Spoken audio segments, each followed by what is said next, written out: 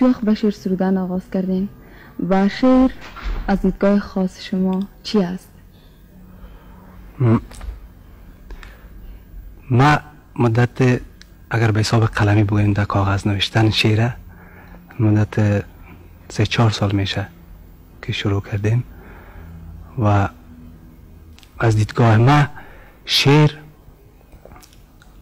افاده هماهنگ و موضوعی که به صمیمیت رسیده و از آگاهی زمان برخوردار باشد. تشکر. از تعریف از آگاهی زمان برخوردار باشد که اینجا اجزا اجزای صمیمیت رسیدن به صمیمیت رسیدن آگاهی زمان و هماهنگ بودن و وزن موزون بودن جز عمده است پیش خودم در شعر بله. و اگر بگوییم هیچ به نظر ما هیچ پدیده هنری به صمیمیت نمی رسد تا یک سبقه تا یک سبقه تخیلی نداشته باشد تا یک سبقه زیبایی شناختی نداشته باشد به صمیمیت نمی رسد با حساب جز اساسی به شمرده می شود پیش خودم صمیم به صمیمیت رسیدن افاده. سرودای شما کدام مسائل احتوا می‌کنه؟ سرودای من چیزی که زندگی می‌کنه انسان همه پیدای هنری زبانی یا غیر زبانی متبارز از تجارب خود زندگی است بله. که یک شاعر یا هنرمند از محیطش انعکاس میده.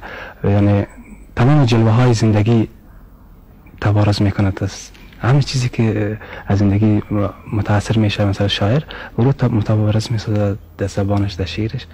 در مهم در شعر در سرود در ترانه های تصانیفم چیزهای زندگی متوارز می‌کنه فقط زندگی. بله شما تصانیفم گفتین یعنی شما تصنیف می‌سازین. بیشترین تصنیف های شما را کیا اجرا کردن؟ با صورت تصنیف اطور که مثلا چیزی که تعریف تصنیف است اوتور ما تصنیف نمی‌سازم. نساخته غیر یک یک یا دو تا. در رادیو تلویزیون خانه دو تا کی اجرا کرده؟ یکی دو تا یکیش دو سه تاش که تقریبا تا یکیش فرهاد دریا. بله. از خانه خوب جوان ما. یک دو سه پارچهشه به شکل تصنیف که ارائه شده خواندن. و یکی هم اسد بدی.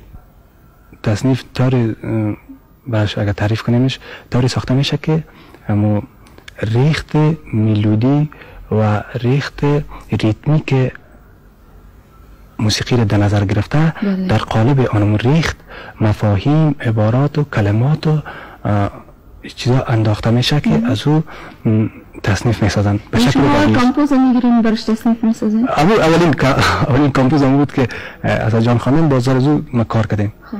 دیگه به شکل تصنیف ساختیم.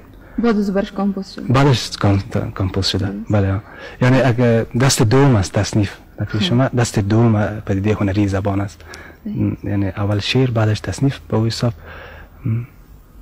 اونو برای اونا ساختیم با اونا دا compose composition کردن مثلا تشکر در مورد ترانه های شما یکی از ترانه ها را بگوین که ببینیم با بیننده یک جای یکی از ترانه های ارکستر باران میشنویم بله با دریا خونده آقای دریا درست خواندن فرشته ترانه فرشته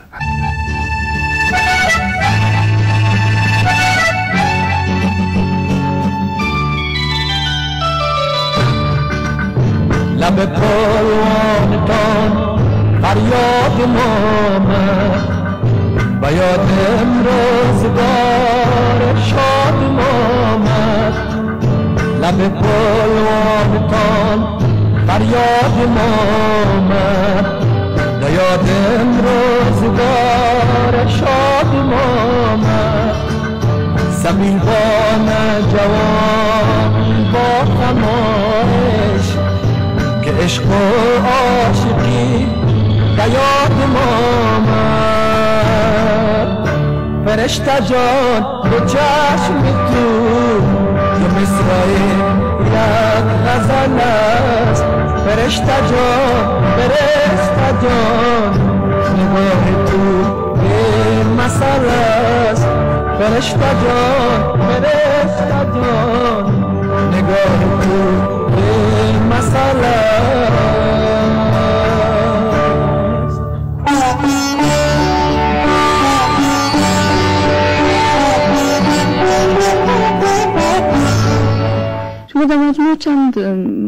آهنگ تصنیف ساختین برای ارکستر باران. به مورد مجموع کارایتان با ارکستر باران صحبت کنین. با ارکستر باران مثلا آغاز همکاری ما شروع شده همراهشان از آغاز ایجاد ارکستر. و تقریبا دیگان 23 24 آهنگشان از جمله کارهای ترانه‌ای و تصنیفی ما است که یک مقدارش نشر شده و یک تعداد دیگهش نشر نشده هنوز.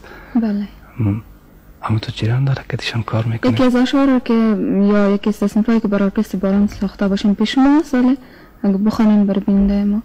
یادم نیست یکی از اشعارتان بخوانین حداقل نه ترانه نیست ولی مثلا شعر اگر بگوین می‌خوانیم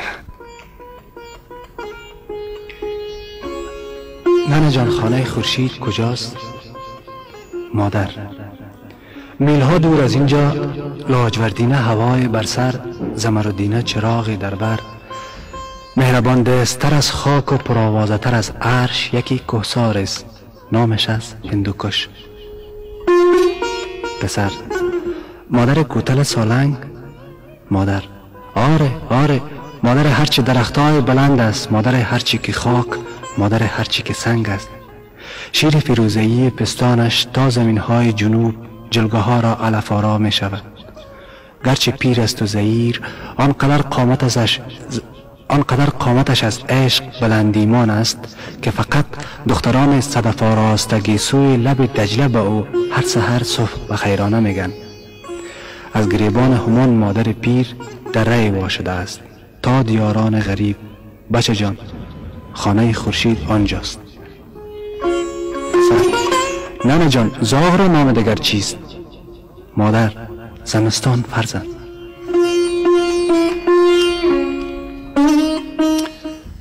حالا یک قسمت ربایات است می‌خوانیم. هر تن که ز جمع انجمن می شکند والله کمر و بازوی من می شکند سر تا قدم از هزار جا می شکنم سر تا قدم از هزار جا می شکنم. هر شاخ گلی که زین چمن می شکند.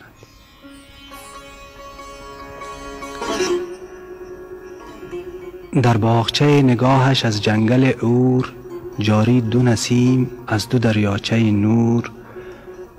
می آمد و مشته شکفتن می‌داد بر کف گل کوتلی و بر سنگ صبور.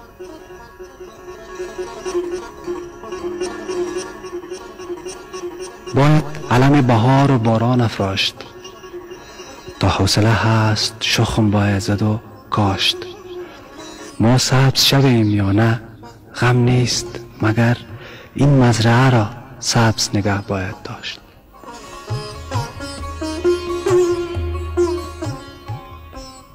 هر بار که از دهکدت می گذرم یک باغچه سبز می شوی در نظرم. آنگاه درخت های آن باغچه را یک یک به خیال قامتت می شمارم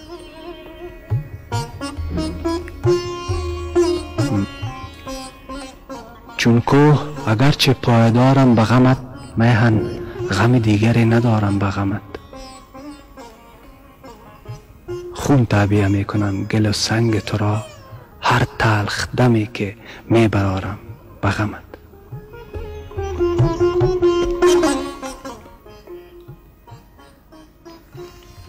آره. یک طرح است یک با اسبم برهنسم بر آستان کوچه آهنگران شهر شب را کنار کوره خاموش و سردشان قطره قطره گریستم آن شب گذار آخرم از سنگلاخ بود. اما یک نلساز خواب به این آرزو نکشت.